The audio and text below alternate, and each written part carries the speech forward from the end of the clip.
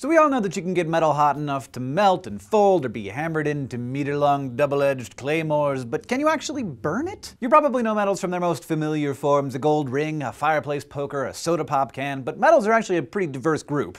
In fact, they make up most of the elements in the periodic table. Metals are generally defined by the physical traits we associate with them. They're hard but malleable, meaning they can be hammered into thin sheets, but they're also ductile or can be pulled into wires. But probably their most important and well-known property is that they're awesome conductors of heat and electricity. They're also generally gray and shiny. And the reason they're so good at conducting electricity is basically the same reason that some of them can burn. Atoms of most metals tend to give up electrons really easily, so when heat or electricity run through a piece of metal, that's basically a stream of excited electrons. And when they burn, metals are giving up some of their electrons. But the process doesn't always look like you might imagine. A hunk of pure iron, for example, doesn't tend to stay pure for very long. That's because those iron atoms really want to hang out with oxygen. Oxygen loves electrons and is more than happy to take up all the precious electrons that iron is eager to surrender. So when exposed to oxygen, either in air or water, the iron rusts and becomes iron oxide. So what does that have to do with burning? Well, that is a chemical reaction called oxidation. And burning is also oxidation, just much faster. So rusting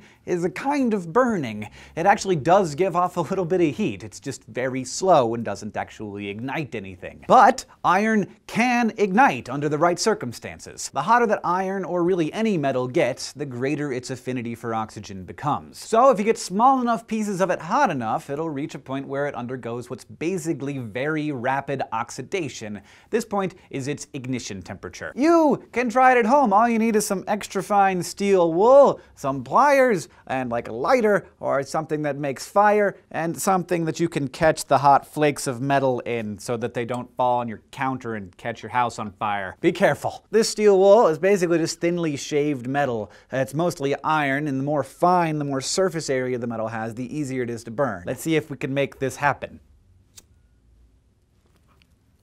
Oh, wow, that's pretty. It, it works. And did it hit me in the face with a little bit of pain? Yes, so why will steel wool burn but not the Brooklyn Bridge? Or a cast iron skillet? Well, for a few good reasons. First, because metal is such an excellent heat conductor, it disperses heat that's applied to it, which makes it harder for any particular part of it to reach its ignition temperature. Put a skillet on a flame and the heat quickly disperses through all of the metal so the surface doesn't get hot enough to sustain a reaction that would actually set the whole skillet on fire. But those tiny little threads of steel wool are so thin that there isn't any room for the heat to spread out, so the iron quickly reaches its ignition temperature. A second major factor has to do with surface area. Most of the iron in this skillet is inside the skillet. It doesn't come into contact with the air. Steel wool burns because these long strands have huge surface areas that are exposed and ready to react with the oxygen in the air. It's like a piece of paper is super easy to light on fire, but a big old log is hard to get going. Iron filings will burn, iron rods will not. In the end, it's a good reminder of how everything boils down to particles either reacting or not reacting.